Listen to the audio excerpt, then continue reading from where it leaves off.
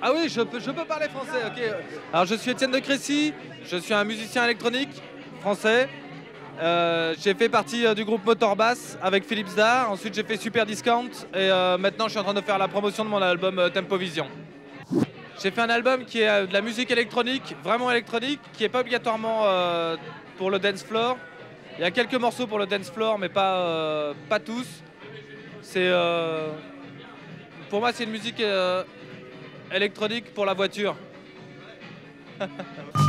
Bah, en fait, les clips, moi j'ai travaillé avec. euh, Jusqu'à maintenant, j'ai travaillé avec ma femme pour les clips de Super Discount et avec mon petit frère pour les clips de, Tempo Vision. Donc d'abord, je travaille avec des gens déjà en famille, ouais. et puis avec des gens que je connais bien et comme ça, on, se comprend vite. Et, euh, et voilà, et ensuite, bon, c'est un truc qui est très important. Comme moi, j'apparais pas euh, sur mes pochettes ni dans les clips. Donc c'est très important que je m'entende très bien avec la, avec la personne qui va faire mon clip. En fait, j'ai d'ab- j'ai d'abord commencé à produire des disques. J'ai d'abord commencé à faire de la musique électronique et après, je suis devenu DJ. Mais mon vrai boulot, c'est d'être producteur euh, de musique électronique. Mon vrai travail, c'est d'être producteur. Ouais, c'est facile de produire de la musique électronique et c'est agréable d'être DJ parce que euh, c'est une façon de promouvoir sa musique tout en jouant, en faisant, passer les disques d'autres gens en fait. Donc c'est euh, plutôt bien.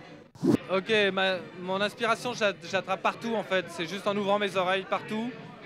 Il y, a, y a- du son partout dans le monde et il suffit juste de faire attention à ce qu'on entend, ce qui passe dans les oreilles. Sinon, il y a des artistes qui m'ont influencé, c'est euh, Stevie Wonder et puis des artistes euh, euh, plus électroniques euh, comme euh, Roy Davis Jr.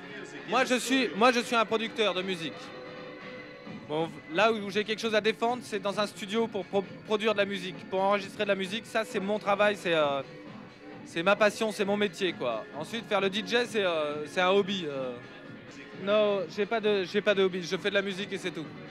Je travaille et j'ai une famille. C'est assez. ok, en France, il y, y a beaucoup de gens qui font de la musique. Alors tout n'est pas bien, mais il y a beaucoup de gens et ça c'est important parce que dans la, dans la quantité, on trouve la qualité. Ouais, ça existe vraiment. Parce que moi, dans mon sac, j'ai plein de disques de, j'ai plein de disques français, donc oui, ça existe. Oui, oui, j'ai plein plein de disques français et il se fait plein de choses en France qui sont intéressantes, quoi.